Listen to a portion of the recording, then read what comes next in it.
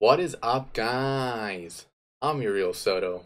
Now I have a really interesting video for you guys today. Now have you guys ever wondered how to view a website's plugins or themes?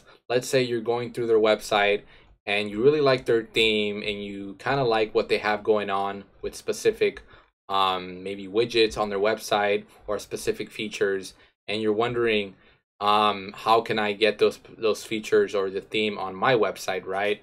Um, and you're kind of trying to figure that out, well, I actually found a really simple solution to finding out a website's plugins or themes if they're using WordPress, of course. So what you guys need to do is it's really simple. Go to that website, go ahead and right click it, and then go ahead and click on inspect. And then from here, don't worry um, how this looks right now. What you need to worry about is this column here. Now, if for some reason you don't have this column um, selected on there, what you want to do is go ahead. Let me go ahead and exit out of this again, just in case you guys do have that issue here. Most likely it will come up, but if it doesn't, um, just make sure that console is selected down here. And then go ahead and go to your sources.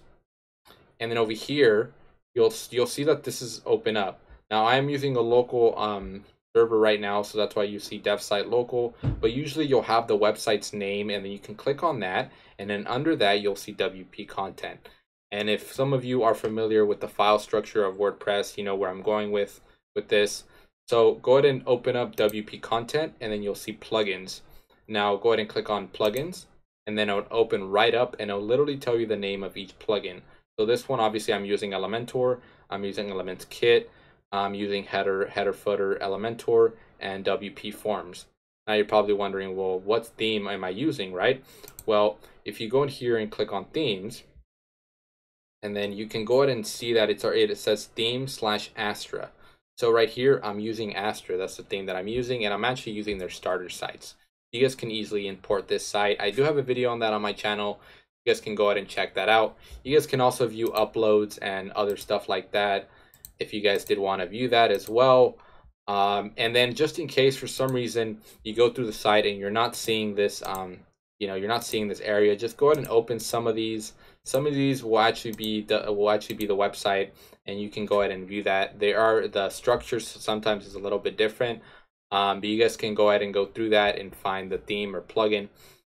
Um, that's pretty much it. That's also a good way to find out if the word if the website is running on WordPress as well. You don't really have to go and and uh, go on a different website, uh, type in their link, and then the website. You know how the website usually tells you if it's WordPress or not. I know that there's a bunch of extensions and websites that do that for you. This way, it's so much easier. You don't have to download or do any of that. Just right click it, go to inspect, and then go to sources. And then if it says WP content, you most likely know that it's a WordPress website.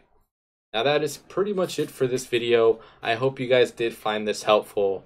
Um, I know that I was pretty excited when I found this out, so I did want to share that with you guys. So if you guys did like this video, make sure to make sure to subscribe and like the video. And as always, thanks for watching, and I'll catch you guys in the next video.